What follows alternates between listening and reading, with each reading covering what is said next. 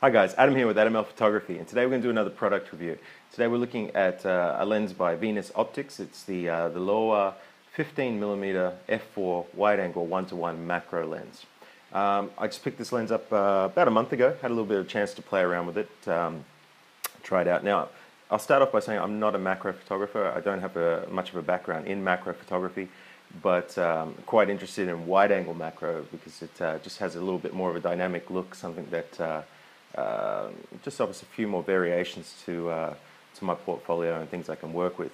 One of the things I'm really interested in using this lens for prior to purchasing it uh, is video work. Um, I want to try it out uh, doing some macro video and uh, having the wide angle will really hopefully punch that up. Um, now I've had a chance to play with the, uh, the lens for a while. Um, I've got a few things to talk about, a few comments on it, positives and negatives, as with everything um, and I'm going to uh, basically lay them out as honestly as possible. Now, let me just start by saying that uh, I'm not affiliated with uh, Venus Optics at all, so there's no bias in this. Um, basically, when you get the lens, it, it's a very sol solidly built lens. Um, uh, metal construction, uh, very smooth uh, focusing and aperture controls on it. it's quite heavy for the size. It's only a small lens, as you can see here. Um, and yeah, construction-wise, really well built. Uh, it's also, uh, you know, it, it's got like this uh, tilt shift switch here, so you can switch um, the lens uh, a little bit vertical or, or, horizontally, or whichever way you've got it set. I think it's just vertically, yeah. So vertically along this axis here, um, which is great when you're when you're shooting, um, you know, buildings, etc. Uh, basically, normally with a wide angle, as you shoot uh, a straight structure like a building, it'll tend to look like it's leaning away from the camera. And by adjusting this little tilt shift switch here, it, it brings it to a more vertical, uh, natural looking uh, perspective uh, when you've got the image finished. So that's, uh, that's a nice bonus, especially in uh, a lens in this price bracket, which is, yeah, I think, about 400 to $500. So most of the tilt shift lenses you're looking at much higher cost. granted, a lot of the other tilt shifts are a lot more dynamic and much more useful than this one, but to have that functionality just adds a little extra something to the lens to give it a little bit more usefulness. Um, when you when you buy the lens, this is what you get. You get your uh, you know your rear cap, your front cap, and this big sort of uh, petal bayonet uh, lens hood on there. Um, if you're planning to try to do any kind of one-to-one macro with this lens, this is the first thing you want to do is take that off and just put it somewhere because it's absolutely useless. Um, however, the lens itself is incredibly sharp. I mean, slight little vignetting um, and you know a, a, little bit of softness in the corners, but that's you know you're talking a 15 mil lens in macro, it's uh, that's just going to happen.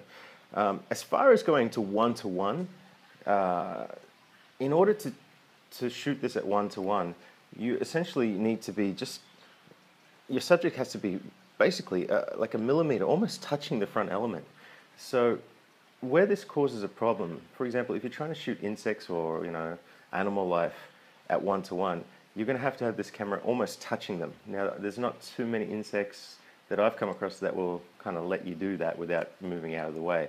Being a manual focus lens and an incredibly shallow depth of field when you're dealing with macro, uh, it's, it's very hard to get that pinpoint accuracy on your subject without them moving, moving away.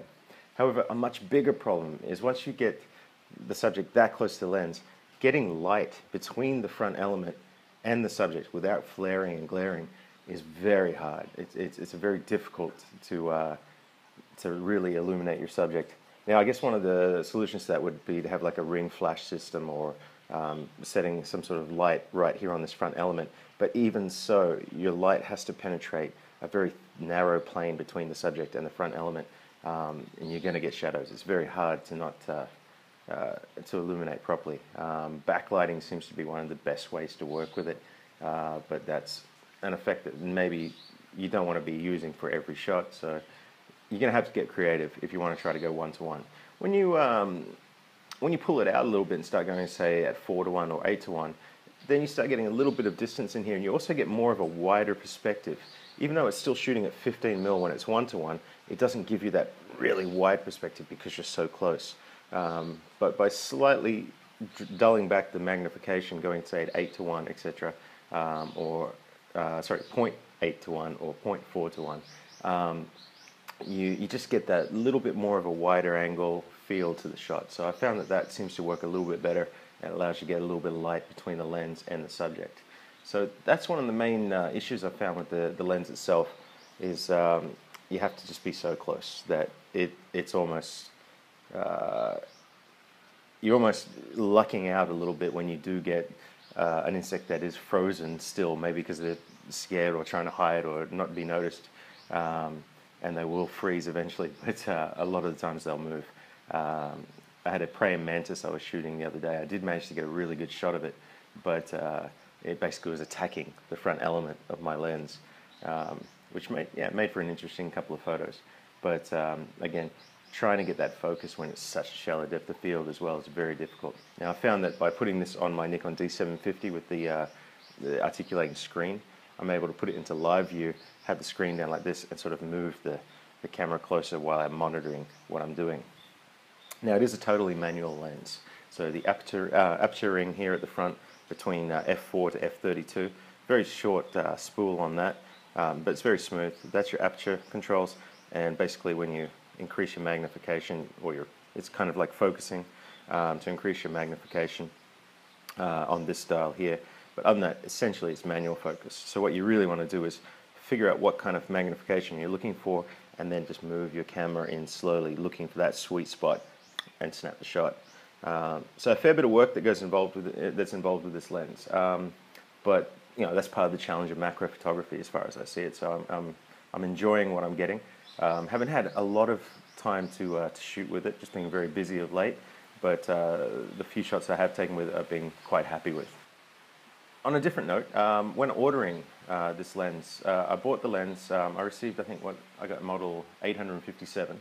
Um, so I ordered the lens from their website, paid for it I think through PayPal, um, and didn't receive any feedback from the company. There was no you know, uh, hey, confirmation of purchase or shipping information, all that, nothing was sent to me, um, which uh, made me quite nervous because I, I, had paid for the item but received uh, no verification from the company. So I tried contacting him through Facebook, through emails, received no reply. Um, and uh, because it was uh, kind of back ordered uh, and I was waiting, I don't think they had enough of them produced, so I had to wait for the third round of deliveries. Um, I was really, really uh, concerned whether or not I was getting ripped off here. Um, but as it turned out, the lens just one day appeared on my doorstep, and uh, that was uh, yeah everything that they said was going to be in the package was there. It was in uh, there's no damage. There was uh, uh, you know nothing dodgy about it, but it did feel really dodgy. So if you do go to purchase the lens, be prepared for that experience. Um, I'm not sure if that happened with everybody, but it definitely happened for me. Um, other than that, uh, not much to talk about with the lens. I mean, it, it's a fun little lens. You can use it as a wide angle. You don't have to shoot it uh, as a macro lens. So it does have that bonus of being a 15mm f4 lens, which is, you know, it's a nice wide angle lens to shoot. As I said before, the tilt shift makes it great for shooting some architectural stuff. Um, I plan to uh, try it out for some, uh, some time lapses in the city and see how that goes. Um, but yeah, no real complaints about the lens itself. So that's my little take on this lens. If you are looking for it, be prepared. It's not going to be as simple as just getting really nice one-to-one wide angle straight up the bat. Um, most likely you're going to be shooting more around the 0.4 to 1 or the somewhere in between the 0.4 to the 0.8 to 1 um, in order just to light your subject. But uh, yeah, that's, uh, that's kind of my take on that lens. So uh, if you have any questions, feel free to drop a comment. As always, please uh, hit the, the uh, subscribe button and um, happy shooting.